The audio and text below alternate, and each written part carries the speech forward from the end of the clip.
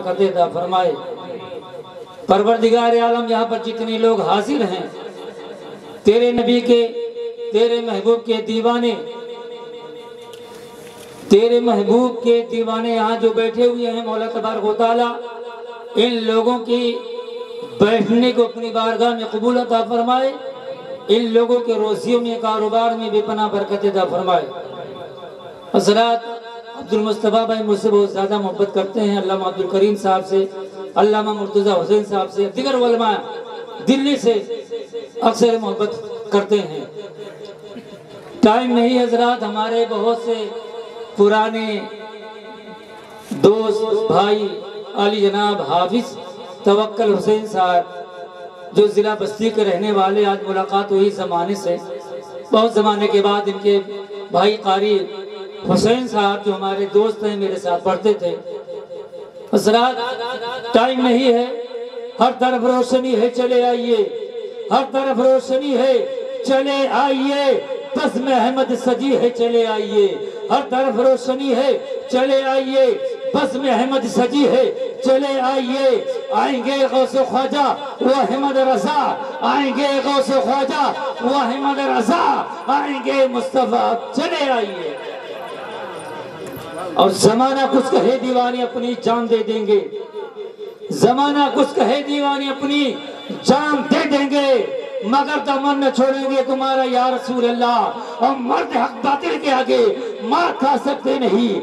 मर्द हक बातिल के आगे मार खा सकते नहीं। सर घटा सकते हैं, लेकिन सर झुका सकते नहीं। और निगाहे वली में वो तासीर देखी। निगाहे वली में वो तासीर देखी, बदलती हज़ारों की तकदीर देखी। हसरात अभी मैंने खुद मनसुना के बाद, जिस आयत करीमा का तिलावत से हासिल किया है, अल्लाह तबारक इरशाद फरमाता है, अला इन्ना अल्लाह ला खौफुन अलैहिम वला हुम यहज़नून। बेशक अल्लाह के वली को ना कोई खौफ है, ना कोई गम है, ना कोई हुस्न मलाल है। आज हिंदुस्तान में रहने वाला मुसलमान, एक मजदूर, एक अमीर से डर रहा है, एक अमीर वाला, एक पुलिस से डर रहा है, एक पुलिस वाला, एक दरोगा से डर रहा है, एक दरोगा वाला, एक अपने बड़े ऑफिसर से डर रहा है। इस हिंदुस्तान में हर इंसान अपने बड़े को देता हुआ नज़र आ रहा है, लेकिन हजरात, इसी आसमान के नीचे, इस ज़मीन के ऊपर एक ऐसी मखलूक है, ना कोई खौफ है, ना कोई गम है, ना कोई हुस्न मलाल है। आप कहेंगे, कौन ऐसी मखलूक है? तो सुनो, कुरान पाक में अल्लाह रब्बुल आलमीन इरशाद फरमाता है अला इन अल्लाह खौफुन अलैहिम वला हुम यहज़नून। बेशक अल्लाह के वली को ना कोई खौफ, ना कोई गम, ना कोई हुस्न मलाल। माँ का गोद पहला मकतब होता है। मैं तारीफ़ नहीं करना चाहता हूँ। बेटा हो तो अब्दुल मुस्तफ़ा जैसा हो बेटा, कि बाप के नक्शे कदम पर चलते हुए नज़र आ रहे हैं। मैं तारीफ़ नहीं करना चाहता हूँ। माँ नमाजी होता है तो बेटा भी नमाजी होता है, माँ नमाजी होती है तो बेटी भी नमाजी होती है। आज सुन्नी मुसलमान सब चीज़ भूल गया, लेकिन आखुन जमा। खान ने पैगम्बरा जनाब मोहम्मद रसूलुल्लाह की पैदाइश को नहीं भूला है, गौसे आज़म का ग्यारहवीं नहीं भूला है। यानी नया मकान तामीर करता है तो मेरा शरीर, बच्चा पैदा होता है तो मेरा शरीर हकीका करता है तो मेरा शरीर शादी करता है तो मेरा शरीर। सुन्नी मुसलमान सब चीज़ भूल गया, लेकिन नबी खुद समा खाब ने पैगम्बरा जनाब मोहम्मद रसूलुल्लाह का जश्न मिलादुल नबी नहीं भूला। ये महीना ग्यारह शरीफ। गरीब से गरीब मुसलमान गौसे आज़म रदी अल्लाह के नाम से ज़रूर याद दिलाता है। अब्दुल कादिर जिलानी रज़ी अल्लाह तु के वाले गिरामी को देखो। अबू साली जंगे दोस्त रदी अल्लाह तु एक मरतबा आप दरिया के किनारे से गुजर रहे थे। एक से बहता हुआ जा रहा था। अबू साली जंगे दोस्त रदी अल्लाह तु उस सेब को उठाने के बाद भूख की शिद्दत है। लेकिन हज़रत उस सेब को जो टुकड़ा करते हैं और हलक के नीचे उतार लेते हैं। उतारने के बाद सोचते हैं, ये परवरदिगार आलम, ये पता नहीं किस शख्स का से पैदा हुआ जा रहा था। और हमने बगैर इजाज़त हलक के नीचे उतार लिया है। इसका हिसाब मुझे कल मैदान मैशर में देना है। आज हिंदुस्तान में रहने वाला मुसलमान किसी का ज़मीन हड़प लेता है, किसी का रुपया हड़प लेता है, किसी का जबर हड़प लेता है, अरे मुसलमानों, सुनो सुनो, आज जिनके नाम पर क्या नहीं मना रहे हो, सुन लो, ये सईदना सरकार गौसे आज़म के वाले गिरामी आप लोगों को सबक दे रहे हैं। सुनो सुनो, अबू साली जंग दोस्त रज़ी अल्लाह आप सोचते हैं, या अल्लाह, पता नहीं किस इंसान का, किस शख्स का ऐसे पैदा हुआ जा रहा था, और हमने बगैर इजाज़त हलक के नीचे उतार लिया है, इसका इजाम मुझे कल मैशर में देना है। हजरात, चाहे आलिम हो, चाहे हाफिज हो, चाहे कारी हो, चाहे मुफ्ती हो, चाहे चाहिल हो सबको हिसाब कल मैदान मैशर में देना होगा। आओ देखो, हजरात आप सोचते हैं और चल देते हैं चलते चलते। उस दरी के किनारे एक बगीचा है। क्या देखते हैं? उसके जितने डाले हैं, जितनी शाखें हैं, उस दरी के किनारे झुके हुए नज़र आ रहे हैं। आप अंदर दाखिल हो जाते हैं। दाखिल होने के बाद आप सवाल करते हैं, ये क्या देखते हैं? एक बुज़ुर्ग है, एक अल्लाह के वाले वली है, एक अल्लाह के दीवाने हैं। आप बैठे हुए नज़र आ रहे हैं। आप सलाम करते हैं। सलाम करने के बाद सवाल करते हैं, हुजूर, मुझे माफ़ कर दीजिए। अब्दुल्ला सुमई रज़ी अल्लाह तआला आप पहचान जाते हैं। ये भी अल्लाह का बरगुजीदा बंदा है। ये भी अल्लाह का चाहने वाला है। आप सवाल करते, कौन सी हमने गलती की है? अब्दुल्ला सुमई रज़ी अल्लाह तआला सवाल करते, कौन सी खदा हो गई है? अबू साली जंगे दोस्त रज़ी अल्लाह जवाब देते हैं कि, हुजूर आपके तरफ़ से एक से पैदा हुआ जा रहा था। और हमने हलक के नीचे उतार लिया है। आप मुझे माफ़ कर दीजिए। अब्दुल्ला सुमई रज़ी अल्लाह इतना सुनना था।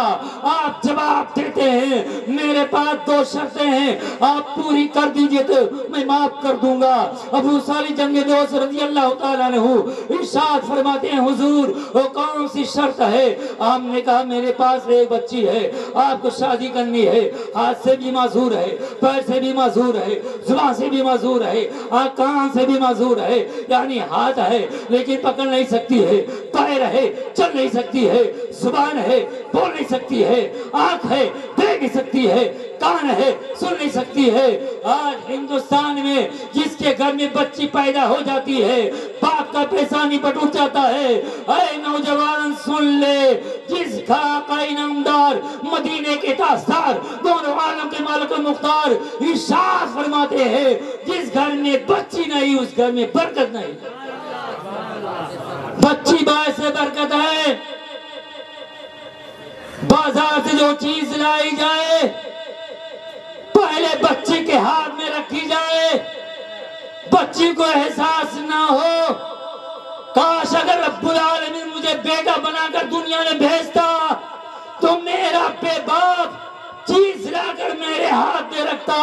लेकिन सुन लो, नबी के दीवानों, कोई चीज़ बाज़ार से लाओ, जो पहले, यानी जो चीज़ लाओ तो बेटी हाथ के हाथ में रखो। हजरात, आज जिसके पास बच्ची शक्ल सूरत, ज़्यादा हसीनो ज़मीन नहीं रहती, होती है तो शादी के लोग इनकार कर देते हैं। अफसोस की बात है, अल्लाह रब्बुल आलमीन ने काला भी बनाया है, सांवला भी बनाया है, गोरा भी बनाया है नाटा भी बनाया है, लंबा भी बनाया है, बीच वाला भी बनाया है।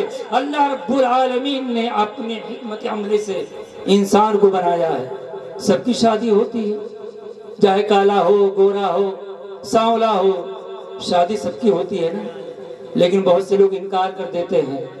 हजरात किसी बच्चे को नुक्स, आयब नहीं निकालना चाहिए। आज कहते हैं, मौलाना साहब, फला इंसान गलत है। पहले आप अपने को देखो, फिर दूसरे को। उंगली का इशारा करो। हसरात अबू साले जंगी दोस्त रज़ी अल्लाह सोचते हैं, अरे परवरदिगार आलम एक ऐसी शरीक हयात मिल रही है, जो हाथ से भी माजूर, पैर से भी माजूर, ज़ुबान से भी माजूर, आँख से भी माजूर, कान से भी माजूर। आप सवाल करते हुजूर, मुझे माफ़ कर दीजिए। मैं शादी करने के लिए तैयार हूँ, लेकिन उससे पहले एक और शर्त थी। कौन सी शर्त? कि 12 साल हमारे बगीचे में खिदमत करनी कितना? अल्हम्दुलिल्लाह अकबर। पहले शर्त थी कि 12 साल हमारे बगीचे में खिदमत करनी है, सिंचाई करनी है, गोड़ाई करनी है, देखभाल करनी है। एक मरतबा अब्दुल्ला सुमी रज़ी अल्लाह अन्हु की बारगाह में कुछ लोग हाजिर हुए। हुजूर ने फरमाया अबू सालिह जंगदो जाओ, सेब को तोड़ लाओ।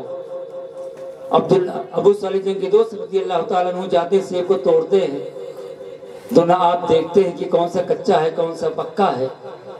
तो हाथ बढ़ाते हैं तोड़ कर लाकर हज़रत की बारगाह में पेश कर देते हैं सोमी की बारगाह में। आप इशाद फरमाते आपको पता नहीं कौन सा फल पक्का है, कौन सा कच्चा है। अबू साले जंग के दोस्त रज़ी अल्लाह तशाह फरमाते हैं हुजूर एक सेब खाने के औज में, इतनी बड़ी सजा कि 12 साल इस बगीचे में मैंने खिदमत किया, सिंचाई किया, गोड़ाई किया। जब तक मैं 12 साल इस बगीचे में था, मेरी नज़र इन सेब, इन दरख्त पर नज़र नहीं पड़ी। इसलिए मैंने नहीं देखा कौन सा कच्चा, कौन सा पक्का है। हाथ बढ़ाया तोड़कर आपकी बारगाह में पेश कर दिया। तो हजरात दूसरी शर्त ये थी कि शादी की बात शादी हो जाती है। शादी होने के बाद अबू सलीम दोस्त रदी अल्लाह तु आप गेट पर पहुँचते हैं, क्या देखते हैं? हसीन ज़मीन, लड़की बैठी हुई नज़र आ रही है। आप देखते हैं कि आँख भी सलामत, पैर भी सलामत, हाथ सलामत।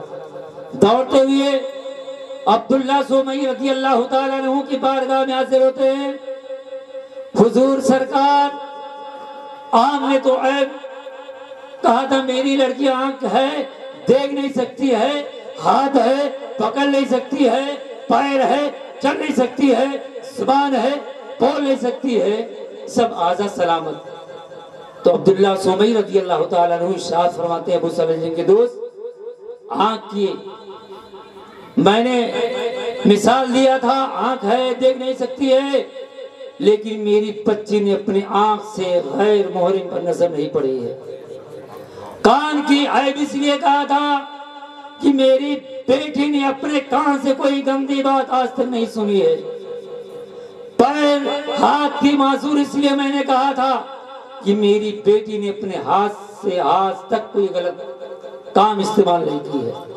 तो ऐ नबी के दीवानों ऐ गौसे आज़म के मानने वालों ऐ गौसे आज़म पर जश्न मिलादुल नबी मनाने वालों ऐ गौसे आज़म पर ग्यारह मनाने वालों, जब माँ इतना परहेजगार होगी, जब बाप इतना परहेजगार होगा तो सैयदना सरकार गौसे आज़म पैदा होते नज़र आ रहे नारे तकबीर नारे तकबीर, नारे रिसालत, नारे नारे माँ का गोद पहला मकतब है क्या है? माँ का गोद पहला मकतब। आज लोग सवाल करते मौलाना साहब, मेरा बेटा नालायक हो गया, मेरा बेटा शराब पी रहा है, मेरा बेटा जुआ खेल रहा है, मेरा बेटा हरामकारी कर रहा है लेकिन सुनो सुनो माँ का गोद पहला मकतब होता है। अपनी माँ और बहनों से सवाल करूँगा कि हजरात वो पहले की औरतें थी, जब बच्चों को दूध पिलाती थी, गोद में तो वजीफा पढ़ती थी, पहले की औरतें थी, जब बच्चों को गोद में दूध पिलाती थी तो नाते मुस्तफ़ा गुनगुनाती थी पहले की औरतें थी जब बच्चों को दूध पिलाती तो शरीफ पढ़ती थी तो उस वक्त हुजूर महबूब ही पैदा होते थे। उस वक्त हिजाबुद्दीन औलिया पैदा होते थे। उस वक्त खुदबुद्दीन बख्तियार काकी पैदा होते थे। उस वक्त इमाम अहमद रजा, आला हज़रत इमाम इमाम अहमद रजा पैदा होते थे। उस वक्त नवाज़ पैदा होते थे। उस वक्त दीन पैदा होते थे। मुफ्ती आज़म पैदा होते थे। माँ का गोद पहला मकतब होता है। हजरात, मैं मुबारकबाद मुस्तफ़ा भाई को दे रहा हूँ, जो हमसे हज़रत से तमाम उलमा से दिली मोहब्बत कर दस मिनट टाइम मिला था। खलीफ नबीर आला हज़रत अल्लामा अब्दुल करीम साहब तबिला इनका हाथ मेरे सर पर है। मैं यही दुआ करता हूँ, अल्लाह इनकी उम्र में बेपना बरकत फरमाए। दिल्ली की सरजमीन पर पहचान कराने वाले तारुफ कराने वाले अल्लामा अब्दुल करीम कादरी बस्तवी है। हजरात, हमारे यहाँ पर हाशिम भाई अमीरुल्ला भाई